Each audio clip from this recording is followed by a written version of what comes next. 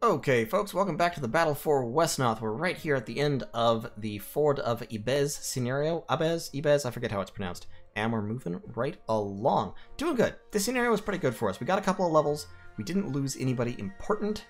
Um, we lost our thug, which was unfortunate, but you know what? These things do happen. Um, and overall, we came out of it pretty well. We got Maver up to champion. Champions are really, really nice to have later in the game. That, uh, that multiple uh, retaliation, the ability to retaliate against people attacking them no matter what they're doing effectively, is very valuable. And having that really high HP is also very valuable. I mean, he has more HP than Delfador, who is two levels above him. Um, it's solid. It is. It is solid. So let's move along. It's unfortunate that Wesnoth takes so long to load despite being so old. Okay, so across the river, lands few humans had ever visited, the occasional distant thutter of orcish signal drums. I don't think thutter is a word. Uh, made the abundant pine forests nestled in rolling foothills both breathtaking and ominous. There's at least also at least one too many adjectives in that sentence, but I'm nitpicking. Abez, that's what it is, the fort of Abez. Onset of what would be a harsh winter. So, Northern Winter is the next scenario here. We're coming up towards the Dwarven Doors. So, winter is bitterly cold. Perhaps we should stop here and rest a while. But we have to go hard after the Scepter of Fire, lest it fall into the hands of our enemies. My question here is, like, what enemies are in front of you? I mean, you've left, you've left the, uh, the Wesnothians behind. Delfador already said they're unlikely to be able to make it across the river. Um, so, like, why are you pushing so hard right at the moment? We've had a hard march ever since we were besieged. We spent most of our money. Winter bears down. Surely we can settle here for the winter. Yes, let us rest a while. So we've got Inna, this uh, footpad here, has come with us, interestingly. I do not think I could endure another like the fording of the river for many days. Onward, I say! Kalenz, just fucking chill for a minute, alright? They are right, Kalenz. It is not to be. Our soldiers will begin to desert if they do not rest soon. It's true. But, but the orcs are coming. So we have to fight the orcs for control of the land. So this is a really simple scenario. Defeat all enemy leaders. It's got a long uh, period for you. We've got two orcish warriors up here, not warlords, just level 2s, so we can kill them with ranged attacks. This scenario is almost a little bit of a rest. You kind of get to take a breather here and work on uh, on taking some of these. Work on building up cash and levels and all that. So we're going to grab some villages real quick. And let's look at who we want to recall for this scenario. We shouldn't really need our level 3s. Um, we will want to bring in Elrian, because Elrian is of course loyal, and we would like to level him up all the way to max. We will also want to bring in... Uh, we could use Mabua in this scenario to level. The problem is, of course, that this is not a water scenario, so Mabua is not going to be very useful. We're going to wait on him. We're going to we're gonna give him some time to think about it. We will definitely want an Elvish captain for leadership having a couple of leaders is always good. We can also bring Sanin, our Elvish hero, because those are good. In terms of recruitment then, we're actually going to recruit a couple more Elvish scouts. We might try to get another rider in this scenario. I really like Elvish riders and Outriders. I know they're not they're not the strongest units, but the speed and flexibility they bring is very useful. Plus, these scouts will be able to swing around and get us some uh, some of the I'm losing my mind some of the villages very quickly. Have you noticed that happens to me a lot? I, I lose my mind pretty frequently. Uh, we're also going to recruit another horseman, or possibly two. Let's just get one for now. Um, knights are such useful units in so many circumstances. Uh, we've got a couple of good ones. We've got our paladin, we've got our grand knight, but I'd like another knight or two. Then in terms of other recall and recruitment, what other units do we have that we might want to bring with us? We have Reglock, the loyal assassin. We could bring him. Um, of course, our merfolk are loyal. We have this rogue that we leveled up in the last scenario. And rogues are pretty neat, so let's recall him as well. And let's get, do we have any more loyalists down here we could bring out? An intelligent, dexterous scout, eh, 5 experience isn't worth recalling. 60 out of 106, that's a merfolk. Um, in terms of recalls, I don't think we have a whole lot more recalls that are valuable. All these guys are just low-level chaff units that happen to survive. Um, intelligent and resilient is a pretty good combo for a mage. Actually, quick and intelligent is even better. Yes, quick does lower HP, but um, they already have garbage HP, and intelligent makes them level a lot faster, which is valuable for mages. That said, I've already leveled several mages, so I'd rather focus on something else for now. So, let's recruit. Um, Yeah, an Elvish Archer. Let's see if we can build up a Ranger or two. And these orcs are mainly going to recruit level 1s. They can, however, recruit ogres, which is a little bit scary. And trolls. Uh, trolls and ogres, very similar kinds of units. Um, but, of course, the, uh, the trolls have regeneration. So you can see the, the gimmick in this scenario is that the snow spreads and slows you down. So yeah, Bork, the ogres, lots of damage, lots of HP. The trolls, slightly higher damage, but fewer strikes, chaotic, and can regenerate, while having a little bit less HP. So you can grab that. You can push north. You, sir, can grab that. You can not quite make it across the snow, because snow, as I said, slows you down. You can move north. Uh, we can push these guys up. And let's get Kalenz up in here. Get our horsemen up into the open fields. Our mage move forward, our captain, and our hero. And let's focus on recruiting more level 1s. We'll get an Elvish Shaman. We'll get an Elvish Fighter or two. Let's get a couple of them, actually. A couple of Fighters. Get an Archer. Um, another Scout, maybe? Another Horseman? Let's get another Horseman. And then we'll spend the last of our money on a second Fighter. Third Fighter. And with that, it's going to be a few turns before we get any more money built up. So we will move Konrad north. The plan here is to push straight north through this area, seize control of all of these villages, fight the blue orc while holding the green orc off in this belt of hills and woods, if possible, or possibly send some elves over to seize control of this woods and hold the orcs off there.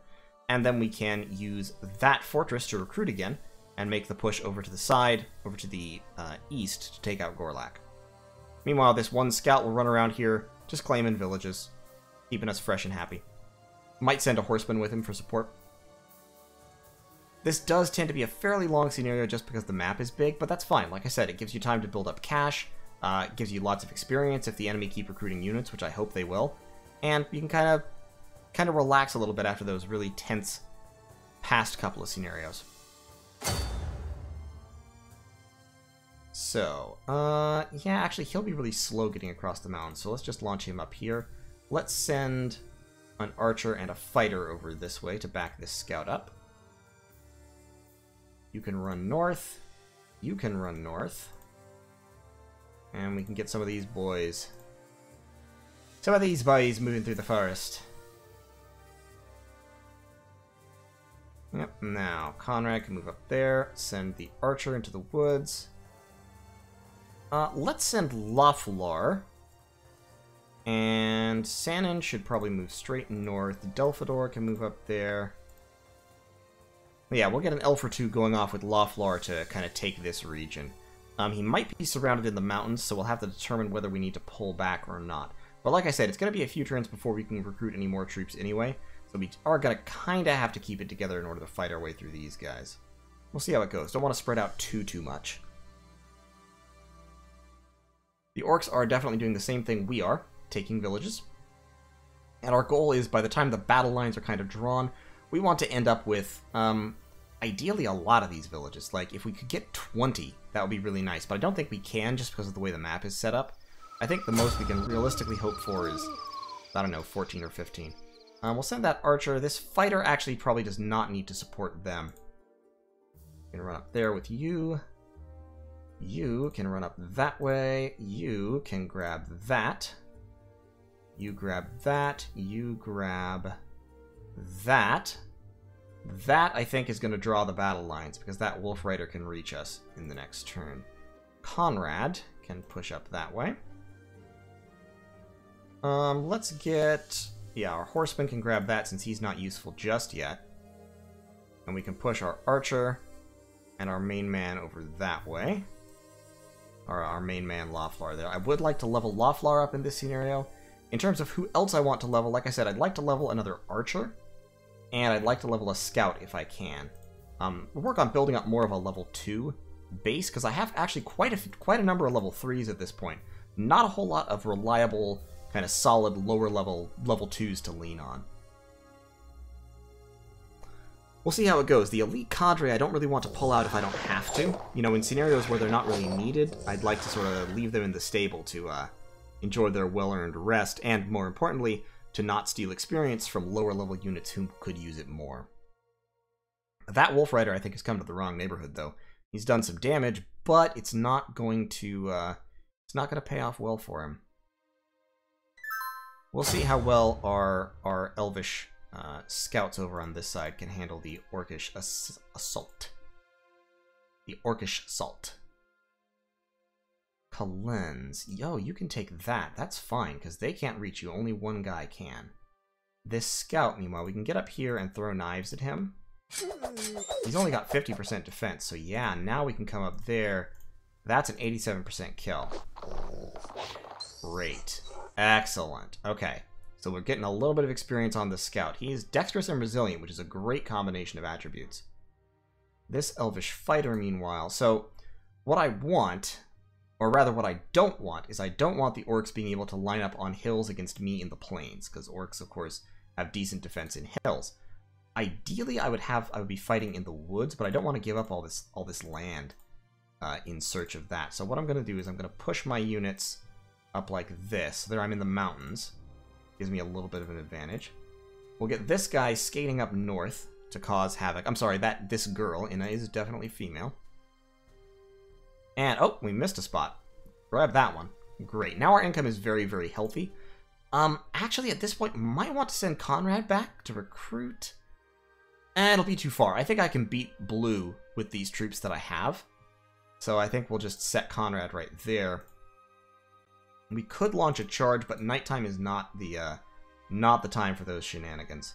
So we are going to wait. What I'll do, however, is I'll put him Right. He has only has 30 HP. Yeah, let's leave him on the on the village.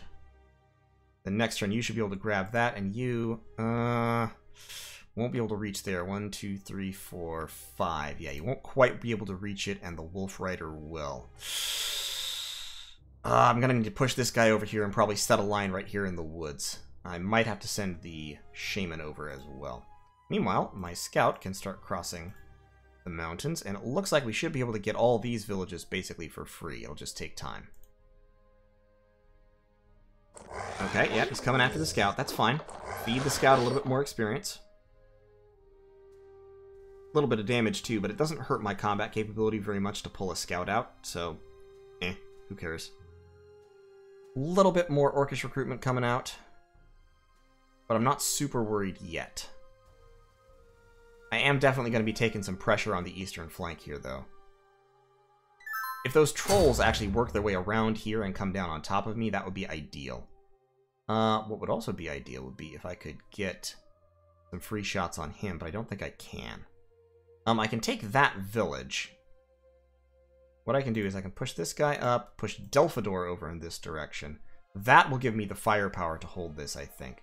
That troll is going to be the problem, but he's not going to show up until daytime. So let's grab that village. Let's grab that village. Let's push these units over in this direction. And this force should be able to take this out. So, move up there. 75, 70% defense is grand. Uh, that's an archer, so we want to fight him in melee. We don't have a whole lot. Uh, we've got an orcish grunt and an ogre to worry about. We could go in with Konrad in melee right here. A little bit of damage, not a huge amount. But Konrad and Kalenz can both come in and hurt this archer a lot, and then this guy... With 50% defense, if this guy kills the archer, he'll be ganged up on and murdered. So what we need is, we just need to form a line. Like that. And not let them split anybody off. Because if they can't split anybody off, we'll be fine. Then this guy can come up here. He could get the backstab. But what I want is I want Harielel to get the kill and then put somebody else up front. So actually, tell you what, let's pull that. Let's put him there. Let's put... No, hmm. You there for healing. You... That would be bad news. That ogre can't really push down. Because he's got five movement points and he's slowed down by the snow. So one, two, three, four, five. Yeah, that's the furthest he can reach. Elrian would almost certainly kill the Wolf Rider. Let's throw sling bullets at him. 60% defense on a 47. Uh, let's throw knives at him. Ooh, very, very good. And then let's just shoot arrows at him. There you go. Good job. Okay, now Elrian has 61 uh, HP.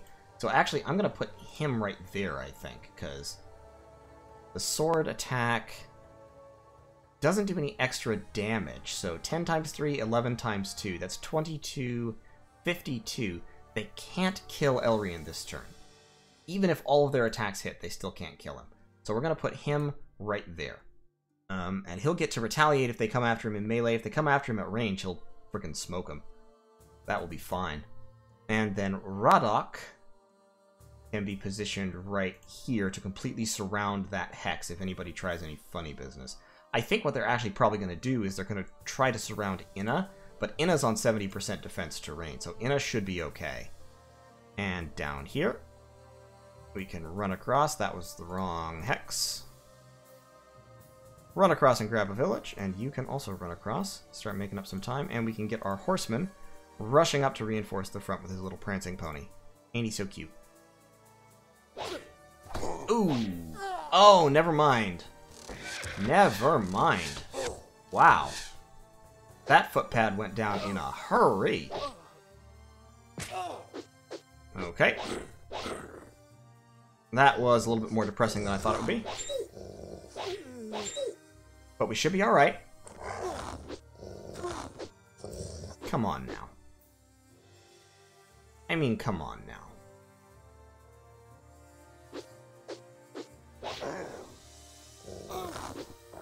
Do not. Two out of three hits, really. Both times. That's frustrating. Not completely out of line, but frustrating. Uh, story of Wesnoth. Story of Wesnoth, indeed. Let me, one second, let me... Yeah, yeah, 10% swing in both directions. That's pretty frustrating. Like I said, it happens. So, see, things like this, things like this are why I kind of suspect the Wesnoth RNG a little bit, because I check this quite often, and I am, I think, consistently a little bit low here and a little bit high here most of the time. I'm not going to say all of the time, because it's not all of the time, but like a lot of the time, that's true. Um, let's blast this guy with lightning real quick. I know I'm... Okay. Okay, that's fine. That works out alright. Um, I don't really want to take the damage of trying to kill him, so just shoot him.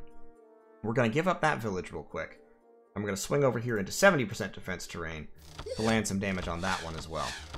That will also trap him in place. These two can both attack, uh, I can't pronounce that name, Kenas, but Kenas can, of course, survive those attacks, especially since they're no longer getting their damage boost. And we are building up a substantial chunk of change. Let's get our horsemen running over in this direction to help as well. And on this side, Elrian is taking damage and is a little bit vulnerable, but we now have access to the Horseman Charge. Uh, he has 23 health. What I'd like would be, once again, to give the, the, the kill to this guy. So let's let's try it. Let's see how it goes. Okay, it went really, really badly. That's frustrating. Um, Get over here and, and stab him, please. 64% kill, yeah, that's fine. That works out okay. So he's got 9 HP now. I don't want to do that, but I do want to go in with the sword. Why does he have a 70% hit chance? Oh, because I'm on snow. Ugh. Can I get around to kill him from the side if this doesn't work? No. Okay, we're going to pull back. Uh, you, sir, are going to move back and fireball him. There you go. You, madame, are going to move forward and entangle this ogre. Great. Now, uh, it is daytime, so the damage is lessened. You can come down here, blast him with Faerie Fire. That'll do about 30 damage. I'd like to kill this Orcish Archer this guy can only fight this troll whelp. So what we're going to end up doing here is Konrad. I don't want to put Konrad in danger. He's slowed, so he's only got 15 damage output. Let's move Konrad here and use the bow. How fast is he? Pretty fast, unless we do this. That blocks him up, okay. Might be sacrificing the body there a little bit. And then you, sir, can come down here and blast this ogre with Faerie Fire.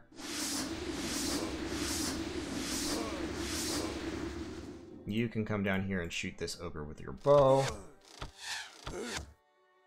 And you can move right there and shoot this troll whelp with your bow. There. Now I think... 15, 18 is 33... 18, and 14 is another 32.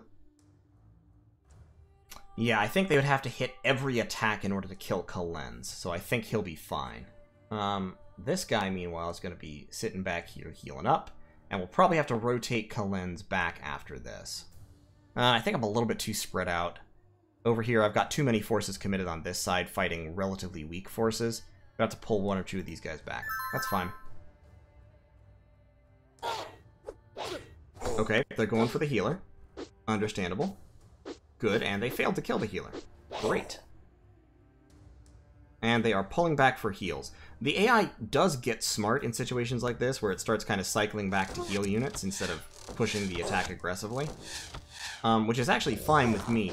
When you don't, when you're good at protecting your units, um, when you do that well, then Wesnoth AI is pretty solid when you if you leave units even the slightest bit exposed, Wesnoth AI turns incredibly suicidal. Like this right here. All three of these units tried to jump on my Elvish Archer, despite it actually putting them in a pretty bad situation. Which is, I've talked about that before, that is definitely one of the things that I don't like so much about Wesnoth. Now, you, sir, could almost level by killing that ogre. You, sir, can flip around to this side and backstab this guy. Okay, you... One hit will kill him, so go for it. Okay, didn't work out. Um... Shoot. Why don't you blast him with magic, please?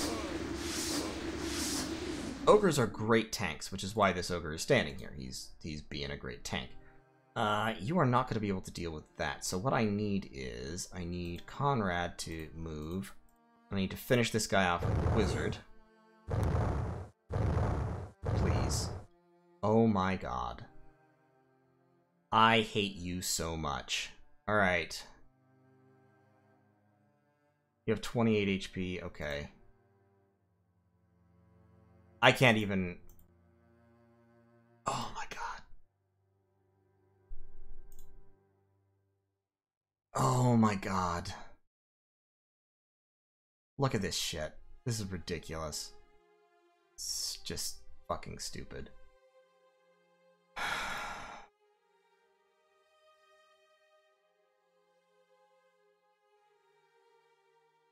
See, now I have to do something here or they'll kill my horseman.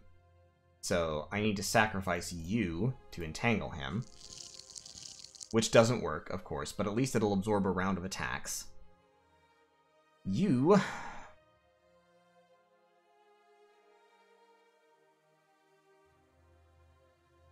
The fact that I've missed literally 30% more damage than I should have has now made this much more frustrating and difficult than it should be.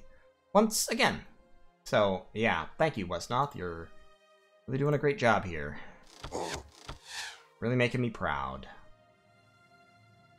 Good fucking job. Senin. At this point, we are at risk of the Orcish gangbang coming in, so... You just do what damage you can here. You...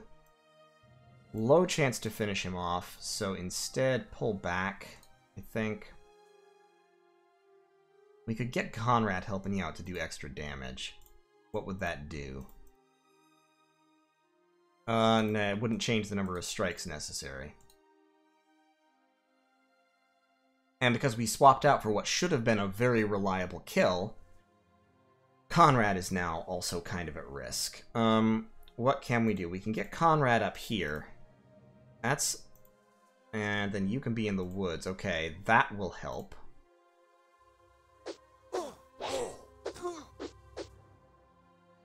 And then if you get there... Okay. Because that limits the angles of attack against Konrad. Uh, it's still real... That's still really risky. Because that ogre will probably get off one hit before dying, and then this guy will move in and get off a hit before dying. At which point I'm down to 30 health. And all they have to do is do 30 damage from two spots. Uh, I don't think they can, though, so... Oh, fuck, did I not... I... Hold up, hold up, hold up, hold up. I didn't move some of my units. One second, we're going back. Okay. Yeah, I did. I just forgot some of my units there. Ah, uh, where was I? What did I do this last turn? Shit, I forget. Well, I, I did this and I did this. So we're just gonna we're gonna do the same things we just did, insofar as possible. Yeah, okay, that was stupid and horrible, but all right. Still worked out. Okay, um, you tried to entangle him, I recall. Okay, he's entangled, that's fine. You tried to backstab him. You tried to horse charge him. Okay, that changes things a lot. I promise I didn't intend intend that. This is the one thing that I uh, do get frustrated about with these games. Um, yeah, that changes things a lot. Especially because he is entangled, and he wasn't before. And now he's dead. Nope, that was not what I wanted. Yeah, so this is slightly more towards what the mean should be. I've only taken slightly more damage and inflicted slightly less damage than I should have. This is actually within, you know, normal variation. So, in this case, now I'm in an okay situation. And I still have Kalenz to move. Because now what I can do is swing Kalenz over here, Faerie Fire that Troll Whelp, And now Ravor is still going to die, but I am not nearly so threatened in a lot of places. Um, and this guy can take this right there. Uh, Kalen's probably going to take some damage. Meanwhile, down here, let's move this guy over this way. Uh, this archer has taken a lot more damage than she really should have, but what we can do now is kind of kind of dogpile on these guys. Do a little bit of damage there. Move out that way, move out this way. Eh, I don't really want to be on 30% terrain, so come down this way. Archer can move back. Ooh, it's 20% terrain for Delfador. But he has enough HP to just tank it. So yeah, just blast that guy with lightning real quick. Great. And now we're in a really solid position. You see the difference that a few percent can make? See the difference? See, like Taken, that's literally one missed hit. This is two or three missed hits, so I've still I'm still doing worse than I should, and overall in this scenario, I'm doing noticeably worse than I should. About 30% worse than I should overall. But doing 30% worse than I should, tactics can handle. Doing 50 or 60% worse than you statistically should, that's the kind of thing that, tactically speaking, you can't really compensate for. That's just... The game's decided that you're fucked today. Yep, Delfador's gonna take some pounding now, but he'll be alright. Okay. Great, and that wolf is actually pushed down into our territory instead of attacking Kalenz, which is fine. It's morning, we still have another turn or two of getting to just whip up on these guys. This horseman can ride over here. Oh, ooh, that's a... You'd have to hit twice. In that case, why don't we... No. No. In that case, why don't we slow this Wolf Rider? And then we can come over here and launch the Spirit Charge. Of course, naturally, as you do. There we go. There we go. Okay, great. That happened. You can push straight north. You, I would love to give you another kill. So who can we kill with you? Will we kill him with you?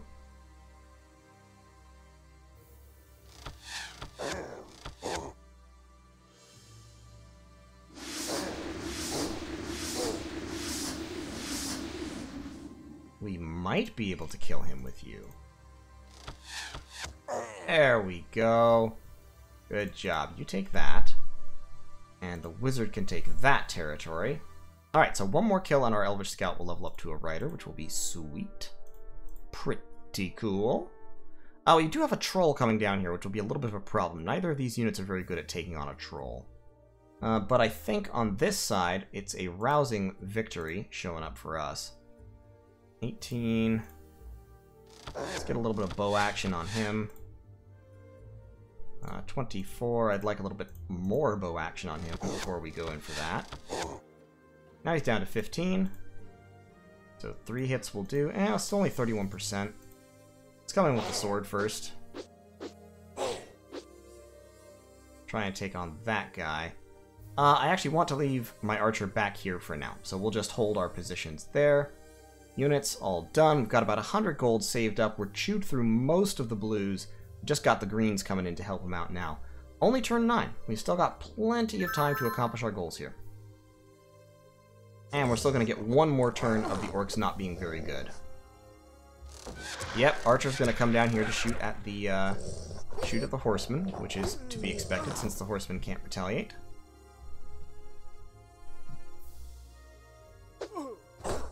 Yep, yep, that's it. Come stab me. That's yeah, that's to be expected. We see ya.